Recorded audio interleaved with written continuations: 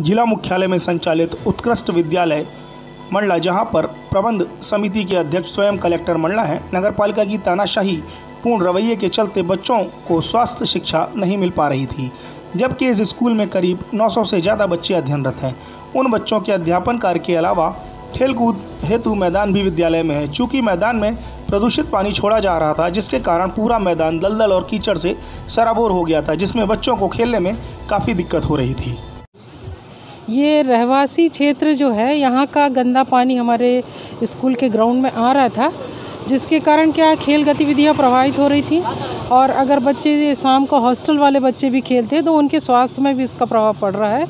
इस वजह से हम ने नग, मुख्य नगर पालिका अधिकारी महोदय को इस विषय में कई कई बार निवेदन कर चुके हैं आवेदन कर चुके हैं। पूरा परिचय? मैं प्रचार श्रीमती आभा चौरसिया शासकीय उत्कृष्ट विद्यालय मंडला। इस संबंध में जब नगर पालिका अध्यक्ष एवं उपाध्यक्ष को जानकारी दी गई तो उन्होंने त्वरित कार्रवाई करते हुए ग्राउंड पहुँचने का निर्णय लिया, जहाँ जाकर उन्होंने देखा कि ग्राउंड की स्थिति काफ़ी ज़्यादा खराब है तथा ग्राउंड दलदल में तब्दील हो चुका है, जिसका कारण जानने पर यह पता लगा कि कोरोना काल के द्वारा, दौरान सामने रहने वाली क्षेत्र के लोगों ने नाली काट कर उसे मैदान से जोड़ दिया गया है, जिससे मैदान दलदल में परिवर्तित हो गया है। अब इसके सुधार के लिए कार्य किया जा रहा है। कि अध्यक्ष जी और हम लोग ने आके यहाँ पे निरीक्षण किया है। इंजीनियर जी को भी साथ में लेके आया गया है। इनका अभी तत्काल में टेंडर लगाने का निर्णय हुआ है और ये पानी यहाँ से लेके वो नीचे नाला में उतारने की बात हुई है। अभी एक सप्ताह, दस दिन, पंद्रह दिन में इसका टेंडर लग जाएगा। नगर पालिका अध्यक्ष एवं उपाध्यक्ष ने जानकारी देते हुए बताया कि ग्राउंड के कॉर्नर से लेकर 100 मीटर तक की नाली का प्रस्ताव स्वीकृत किया गया है, जिसमें त्वरित कार्रवाई करते हुए अभी कच्ची नाली बनाकर मैदान में पानी को जाने से रोका जाएगा। इसके बाद टेंडर प्रक्रिया पूर्ण होते ही नाली को पक्की कर नाले से जोड़ दिया जाएगा।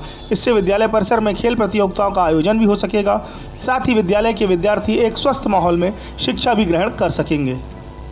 देखा होगा आपके समक्ष मैंने यहाँ का जो वातावरण है, थोड़ा पानी जा रहा है ग्राउंड में और स्कूल का ग्राउंड है, यहाँ बच्चे खेलते हैं। तो निश्चित तौर पर कहीं ना कहीं बच्चों को परेशानी हो रही है। और हमने हमारे साथ इंजीनियर हैं वो यहाँ का पूरा देख लिए हैं और इसको नाप करके शाम तक इसका एस्टीमेट बन जाएगा और पाँच छः सात दिनों के अंदर हम इनका टेंडर जारी करके काम भी लगवा देंगे। इसका हम लोग परमानेंट हल निकाल रहे हैं। प्रेजेंट के स्थिति में एक ही चीज़ कर सकते हैं। अभी फ़िलहाल में उसको कच्ची नाली करवा देते हैं और पक्की करवा देते हैं। ऐसा करवा देते हैं